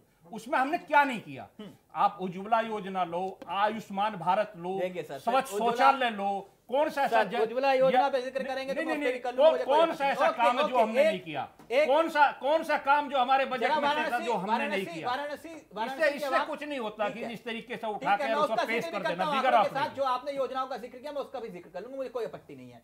जरा दिखाइए वाराणसी की आवाम क्या कुछ कह रही है और फिर जरा समझेंगे अर्थशास्त्र के नज़रिए से हमारे दोनों मेहमान जुड़े हुए हमारे साथ। जरा दिखाइए क्या कुछ कह रही है वाराणसी की जनता। आज का बजट ठीक है, इसको चुनावी बजट तो कह सकते हैं, परंतु इन्होंने जो बजट दिया है, बहुत ही बढ़िया दिया है। व्यापारियों की मांग थी ढाई लाख से पाँच लाख की, वो भी पूरी कर दी है। और उद्योगों को बढ़ाने के लिए इन्होंने एमएसएमई में दो परसेंट की छूट भी दी है। और साथ में मजदूरों के हितों को ध्यान में रखते हुए उनको तीन हज़ार का पेंशन भी दिया है। परंतु व्यापारियों को नहीं दिया यह मांग हम लोग की आज भी है, आगे भी रहेगी। और किसानों में भी इन्होंने जो किया है, दो हेक्टेयर से कम का, वो भी अच्छा काम किया है। देखिए ओवरऑल बजट अब की का बहुत ही अच्छा है, क्योंकि एमएसएमई सेक्टर को बहुत लाभ दिया है। दो परसेंट की ब्याज की छूट दी है, जिससे एमएसएमई सेक्टर में बहुत ग्रोथ आएगी। उसके अलावा एग्री और एनिमल हस्बेंड्री फिशरीज सभी को ब्याज में छूट दी गई है। तो उस लिहाज से जो पैसा वहाँ बचता है ग्रामीण क्षेत्रों में, वो हमारे प्रोड्यूस हमारा जो प्रोडक्ट है एमएसएमई सेक्टर का, उससे इसकी परचेज बढ़ती है। तो ओवरऑल ग्रोथ ओरिएंटेड बजट है, बहुत ही संतुलित बजट है और उसके अलावा अभी पाँच लाख तक की जो छूट की सीमा बढ़ा दी गई है इनकम टैक्स में, ये भी बहुत ही अच्छा कदम है। इस बार का बजट आम आदमियों के लिए और व्यापारियों के लिए बड़ा अच्छा है। सबसे पहले उन्होंने आम किसानों को राहत दी। किसानों के खाते में छः हज़ार रुपये सालाना उन्होंने फ़सल के लिए डायरेक्ट उनके खाते में पेश किया।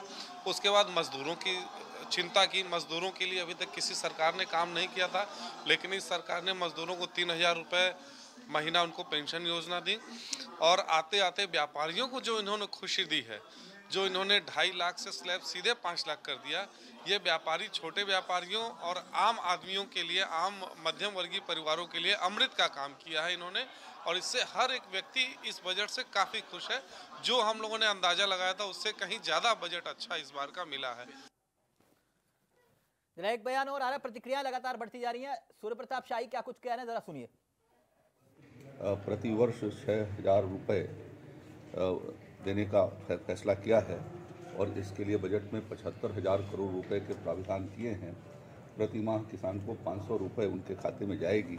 तो एक तरीके से ये खेती के क्षेत्र में अस्थायित्व और टिकाऊ स्थिति लाएगी और किसान जो चिंतित रहते हैं, एक उनका बड़ा भारी समाधान होगा। चलिए आप सीधा रुक करें अपने मेहमानों की तरफ़। अब मैं अर्थशास्त्र के नज़रिए से इस बजट को समझना चाहूँगा। सुधांशु जी आपसे और आशीष जी आपसे, आप दोनों से। सबसे पहले सुधांशु जी, मुझे ये समझाइए जिसका ज़िक्र मैं अभी आशीष जी से कर रहा था, क्या आप भी ये इतफाक रखते हैं जिसका ज़िक्र यहाँ पर जो आम पब्लिक के बीच में हम पहुँचे? उन्होंने कहा कि ये पाँच लाख वाला जो स्लैब है ना सर वो सबसे बढ़िया डिसीज़न है। आपको भी लगता है कि वाकई में अगर चुनावी नज़रिए से मैं समझू तो ये मास्टर स्ट्रोक है।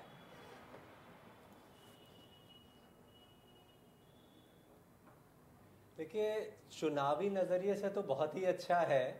और हम लोग का परिवार पिछले चालीस पचास साल से टैक्स पेयर रहा है।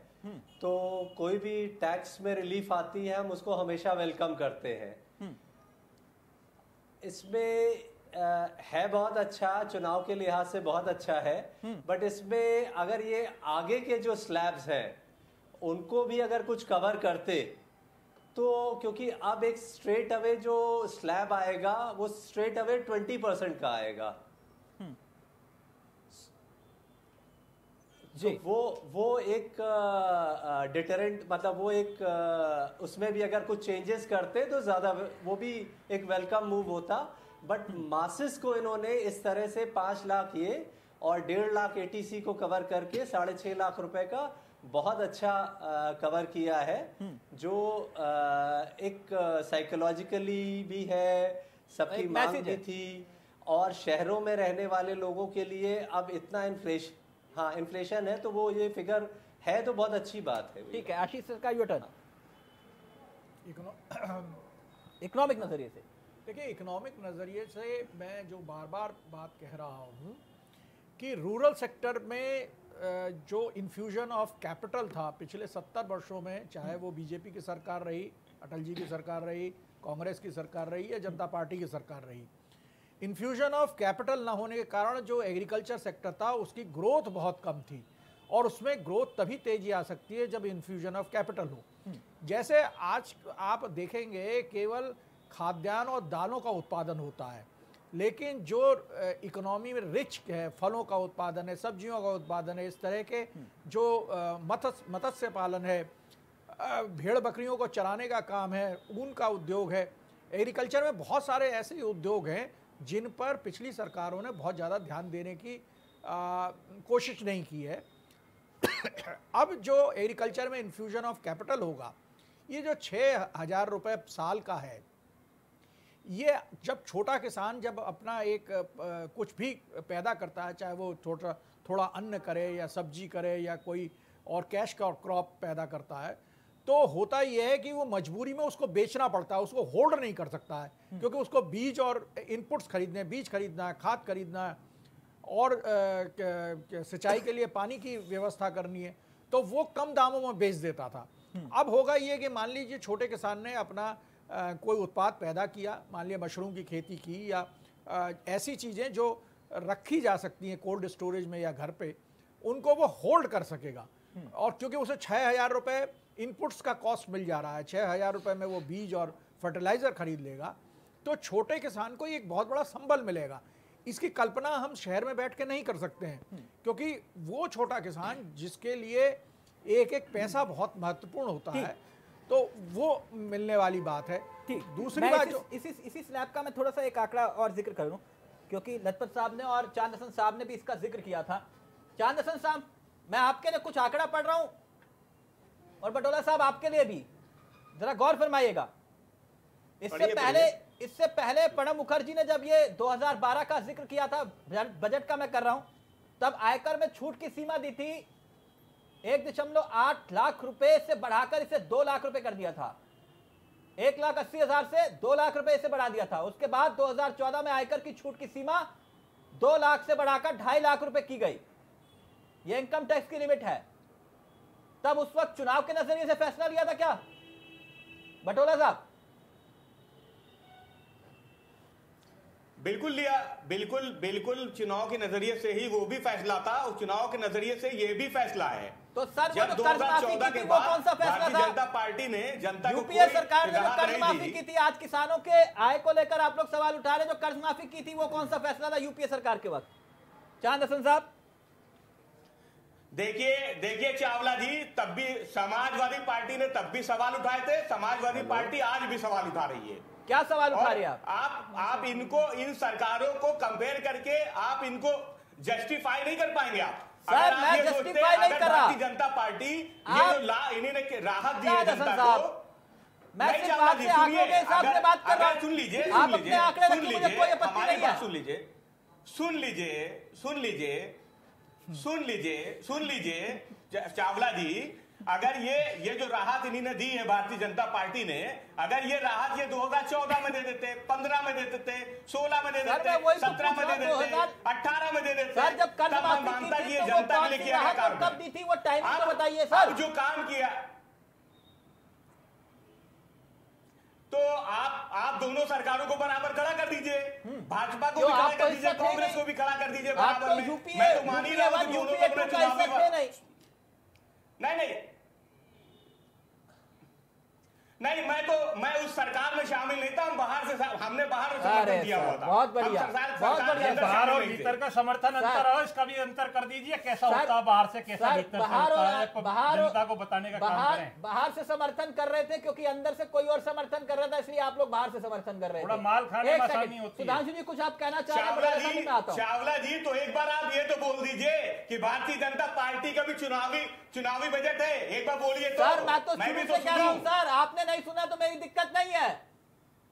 चुनावी साल में चुनावी चुनावी बजट आया। चुनावी बजट ही आता है सर। इसमें क्या बात है? अब मेरे सर्टिफिकेट से बदल सर्टिफाई जाएगा नहीं सर्टिफाई करने के लिए हमें हमें समाजवादी पार्टी या कांग्रेस की ज़रूरत नहीं। ओके, आम जन की ओके, है ओके, और आम जन ने हमारे बजट को सराहा है। ठीक है, सर। देखा है बाइट के माध्यम से देखा है और प्रतिक्रिया माध्यम से। चिल्लाते रहिए कुर्सी नीचे से निकल एक जाएगी। सेकंड एक सेकंड एक सेकंड नहीं रहे बड़े जोश से होश बात कर रहे हैं। आप लोगों को चिल्लाना पड़ेगा एक सेकंड, एक सेकंड सुधांशु जी अपनी बात कुछ कहना चाह रहे हैं आप? फिर मैं बड़ोल साहब आपके पास आ रहा हूँ। अरे चिल्लाते रहिए ये जो यूपी के दो कांटे हैं ये कांटे ही आपको चुभेंगे इंतज़ार कीजिए। जी वक्त बताएगा कांटे और तलवार का पब्लिक के ऊपर छोड़ दीजिए ना एक सेकंड सामने एक सेकंड सर वो अपनी बात रखना चाहते इंतज़ार कीजिए गोरखपुर भी बताया था गोरखपुर- था फूलपुर भी बताया था फिर वही गोरखपुर आ गया। हम- पूरे आपको- देश में बताएँगे आपको। हम। आपको 2016 याद दिला रहे हैं फिर कैसे बता रहे हैं आपको। एक सेकंड आपने उस समय जब हाथ की सवारी की थी अब हाथी की कर रहे हैं ध्यान रखिएगा। होना एक आपका? एक सेकंड ज़्यादा समय नहीं बच रहा। कमर कस के हम चैलेंज के साथ कह रहे हैं आपको। आपका जो हक होना जिस गोदी में आप गए ना वो बहन जी भी तैयारी कर रही है आपके साथ के लिए। एक सेकंड है। बाद मिलेंगे। ये जनता सब जानती है।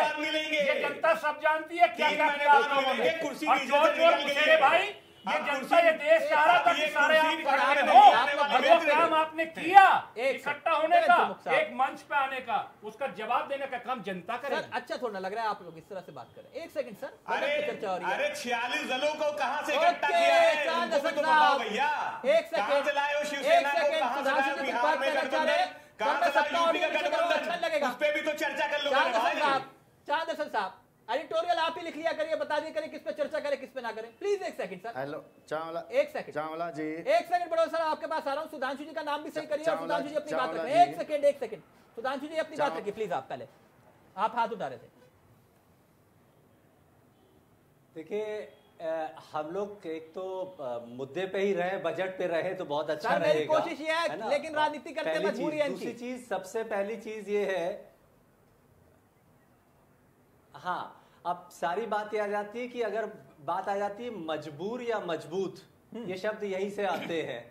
तो जब पहले इकॉनमी मजबूर थी तो आप कैसे कुछ दे सकते थे? आप दे तो तभी सकते हो ना जब मज़बूत होगी। तो तो ये एक टोटलिटी में देखना होगा। खाली ये आ, ये आपस के एक एक कंट्री को सबसे ऊपर रख के देखना होगा। ये नहीं होगा कि एक पार्टी इंपॉर्टेंट है वो बोल रही है। Okay. आंकड़े क्या बोलते हैं वो सबसे इंपॉर्टेंट होता Yes. है। और जो इंटरनेशनली एक्सेप्टेड है। हाँ। मैं उसी हाँ, बस आंकड़ों के हिसाब से आपसे पूछ रहा हूँ सर ये जो बड़े बड़े दावे और वादे किए जा रहे हैं टैक्स पेयर हमारे पास है नहीं? पैसा कहाँ से आएगा?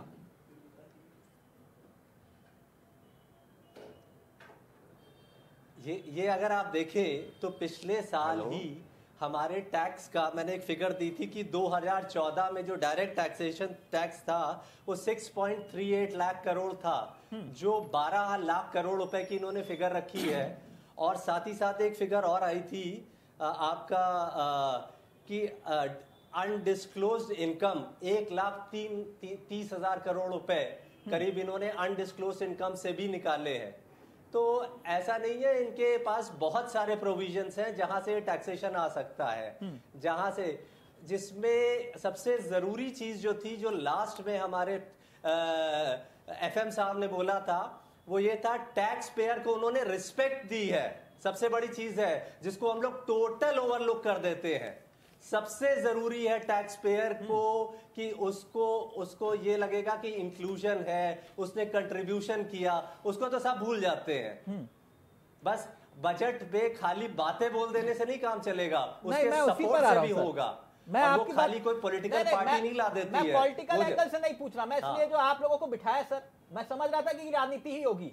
लेकिन मैं राजनीतिक एंगल से हूँ। आपकी बात जो पूछी मैं मैं मैं मैं उसी पर आ रहा हूँ सर। हाँ भाई वही राजनीति होती रहेगी। मैं- तो हम लोग ने हम लोग वैसे ही कितना हाँ कितना टाइम वैसे ही वेस्ट योजना पे करते आ रहा हूँ। मैं उसी हाँ। योजना पे आ रहा हूँ। मैं आपसे समझना चाहूँगा एक्सपोर्ट 2014 हाँ, के मुकाबले हमारा कम हुआ। ठीक है सर? रुपए की कीमत बहत्तर पहुँची। हाँ ठीक है सर? डॉलर और इसके साथ साथ जब हमारा सस्ता क्रूड था तब हमने उसको बैलेंस नहीं किया अर्थशास्त्र के नज़रिए से क्योंकि आप लोग बेहतर तरीके से समझते हैं। तो इसलिए मैं से सवाल ये उठा कि भैया पैसा आएगा तो आएगा कहाँ से इन योजनाओं को लेकर जो हम चुनावी बजट जैसे कि किया जा रहा है कहा जा रहा है? मैं उसने ज़िक्र किया।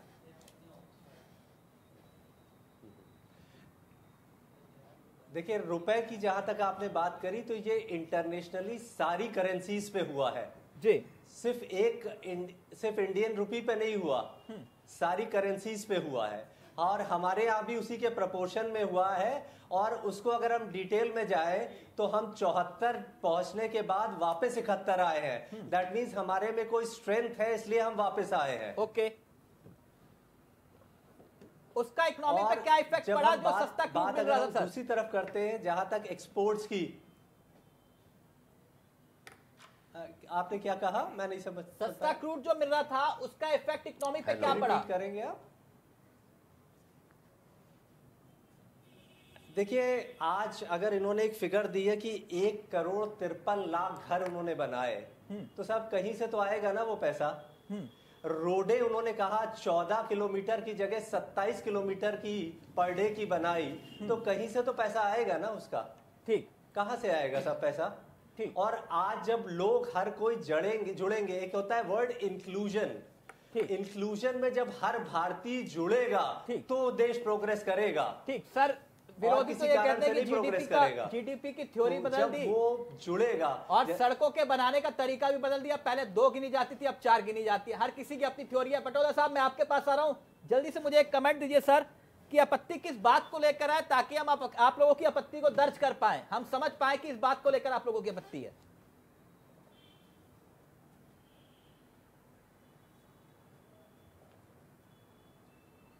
हेलो? बटोला साहब आपत्ति दर्ज करिए सर किस बात को लेकर आपत्ति है ताकि मैं देवेंद्र प्रमुख से समझ पाऊँ कि भैया तुमने ये क्यों नहीं किया? बताइए आप। देखो देखिए चावला साहब टैक्स में जो छूट की बात कही जा रही है जिस टैक्स में पाँच लाख तक के लिए पाँच परसेंट छूट की दर दी गई है उसके अंतर्गत पाँच से दस लाख के लिए सीधे बीस परसेंट की जो छूट है जैसे पाँच लाख एक रुपया कोई भरता है उसके जो गैप है पंद्रह परसेंट का अंतर पड़ता है। इससे टैक्स भरने वालों में एक तो असमानता अरे आप गलत कह रहे हैं, गलत कह रहे हैं। अरे आपको समझ में नहीं पाँच आया। लाख तक टैक्स भरने वाले मिल सकते पाँच हैं, लाख तो एक रुपए पे लगेगा टैक्स। भरने वाले को अरे एक रुपए पर टैक्स लगेगा। आप क्या बोल रहे हैं आप सुन लीजिए हम सब समझ है आपकी अरे बात आप को तो सब समझ रहे हैं आप गलत बोल रहे हैं। एक रुपए वाले बीस परसेंट टैक्स लगेगा ना। अरे भैया एक रुपए पे लगेगा ना। अरे एक रुपया जो पाँच लाख से ऊपर समझाइए। उस पे पाँच लाख तो समझने का अरे पाँच लाख तो फ्री हो गया। सही कह रहे हैं आप। लेकिन मान्यवर लेकिन- पंद्रह ये तो का समझने की ये समझ लीजिए आप। आप आप उस गलत को क्यों समझिए अरे गलत व्याख्या क्यों कर रहे हैं ज़्यादा सुन लीजिए चिल्लाने अरे मैं कोई बीजेपी का वो थोड़ा ना हूँ आप- गलत व्याख्या मत करिए। इकोनॉमिक्स की चर्चा कर रहे हैं इकोनॉमिक्स की तरह से करिए। आपको बस बोलने से मतलब है। एक चीज़ पाँच लाख से एक रुपया बढ़ेगा तो एक रुपए पर टैक्स लगेगा। पाँच लाख तो ज़ीरो हो गया। आप जिस तरह से अरे आपके समझ में नहीं आ रही है। उसके बाद में स्टैंडर्ड डिडक्शन है।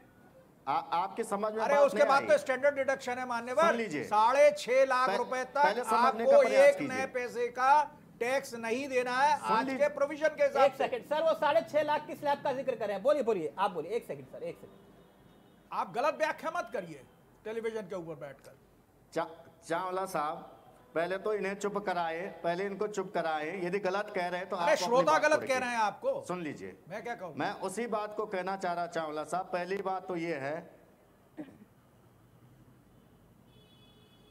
आप जरा सा चुप रहेंगे महाशय अरे बैठा हूँ चुपी हूँ मैं। पूरी बात कहने आप दीजिए। सही तो उसके बाद आप कही हाँ। मैं ये कहना चाह रहा हूँ कि जो जो पाँच लाख तक के स्लैब पे पाँच परसेंट का टैक्स दिया जा रहा है उसके बाद पाँच लाख से लेकर दस लाख के स्लैब में जो बीस परसेंट का टैक्स है उसका जो गैप है वो ज़्यादा है।